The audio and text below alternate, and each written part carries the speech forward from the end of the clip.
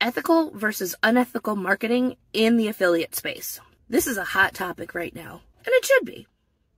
I believe everyone should have business ethics and do their best to do the right thing. I don't care what program you're a part of. There is a huge difference between telling your experience with a program and talking shit about a program. For example, you didn't see results with a program that you were a part of. And so when you're talking to people, perhaps you joined a new program, they say, Oh, you were promoting that. Why aren't you anymore? And you say, You know what? I didn't get the results I wanted with it. It wasn't what I needed to learn. I joined this new program because it did this, this, and this for me. And then I started seeing results. That's ethical marketing. This is unethical marketing. Talking to people and saying, That program is shit. It doesn't teach the right way. It's a crappy program.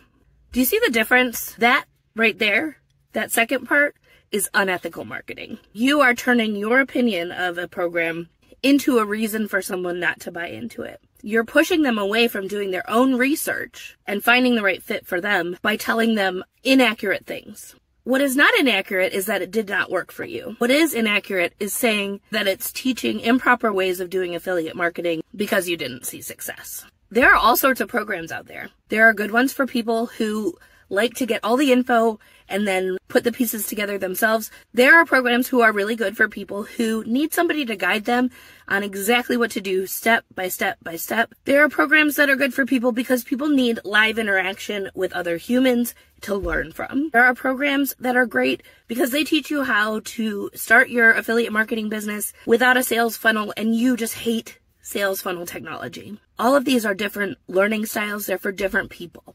Every single one of these programs, I'm not naming them, but there are some examples I'm sure you can think of in your head. All of these programs are great for some people and not for others. That doesn't mean any of them are doing anything wrong. That doesn't mean the program itself is flawed. It means that it's not going to work for some people, and the same people this program works for, this other program is not going to work for.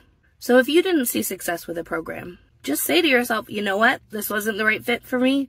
But I'm going to keep going because I believe in myself and I will find success. And you will if you keep going.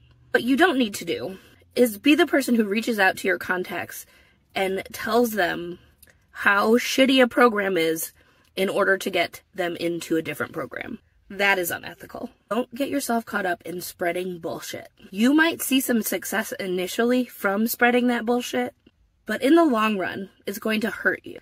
Because what you are telling people whether you intend to or not, is that if you don't get the exact results you want with everything you do, then that thing is no longer of quality. And you erode your reputation over time. Don't do this to yourself. Peace.